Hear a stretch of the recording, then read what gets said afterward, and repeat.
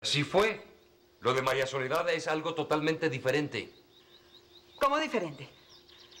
Explícame, ¿qué quieres decir con eso? Ay, no tengo que darte explicaciones, madrastra. Pero... no rato? Soy un hombre, me gusta disfrutar.